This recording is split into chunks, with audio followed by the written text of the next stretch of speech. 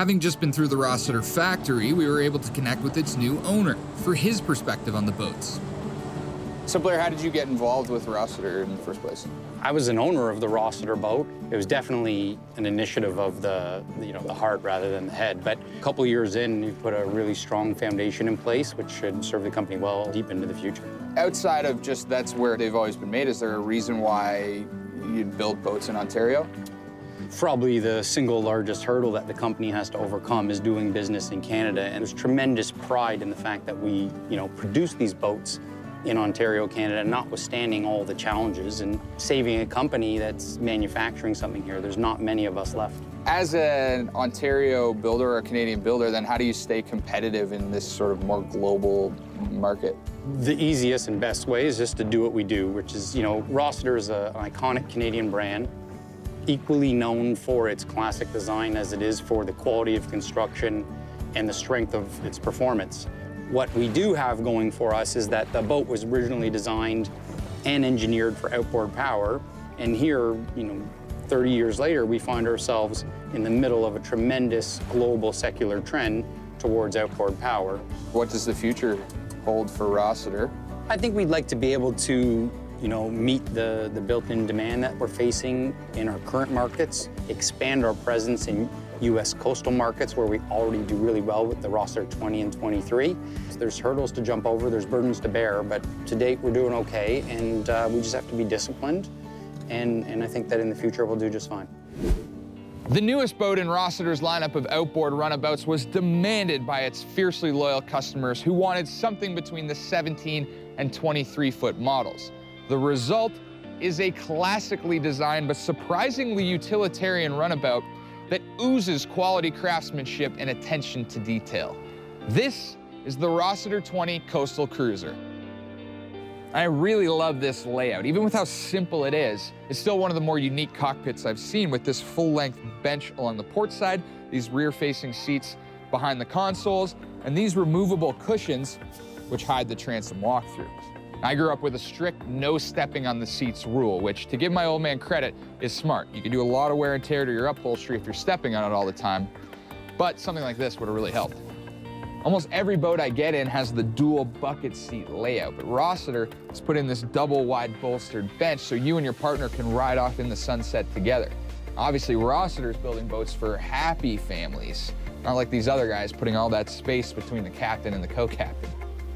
One of the great things about outboard power is the space that it gives you on board, but that often comes at the expense of the swim platform.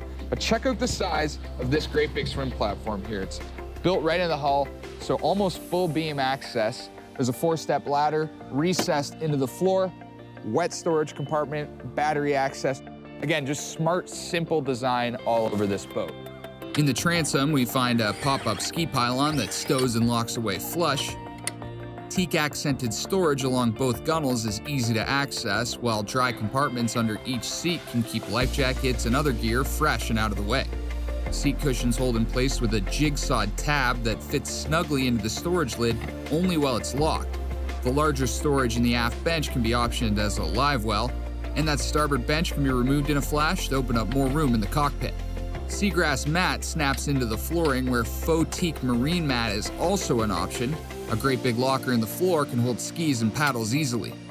Both the passenger seat and the double wide helm are bolstered. I like the look and simplicity of the helm with wood finish and rockered switches easily accessible, and the dash has room for a 10 inch graph to sit flush mount just below eye level, and vents on the side windshield let in a nice breeze on a hot day. Under the foredeck is a cuddy cabin that can be used as storage, a daybed, or even a head, and the compartment door is well designed with a convenient step up to access the bow, where we find an anchor locker that can fit both a windlass and an optional four-step reboarding ladder.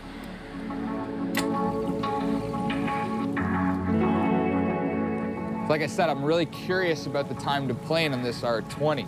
I mentioned the weight displacement, but also the deep V hull has a lifting pad on the center line, and that's designed to put the boat right up on top of the water. So I'm expecting big things. Here we go, moment of truth. Ah, look at that. Almost no bow rise. We're up on plane like that. That is sweet. This thing rips, man. This is a really nice ride. Now, there aren't a lot of boats under 22 feet that I'd feel comfortable taking out on Georgian Bay or Lake Ontario or the Gulf of Mexico, but this thing punches way above its weight class. I think it can do big water even though it's a relatively small package. The deep hull really slices through the waves. The ride comfort is incredible, and it looks great doing it. Now, that's a really nice cruise, 29 miles per hour, about 4,000 RPMs, burning seven gallons per hour. See how it takes these bumps.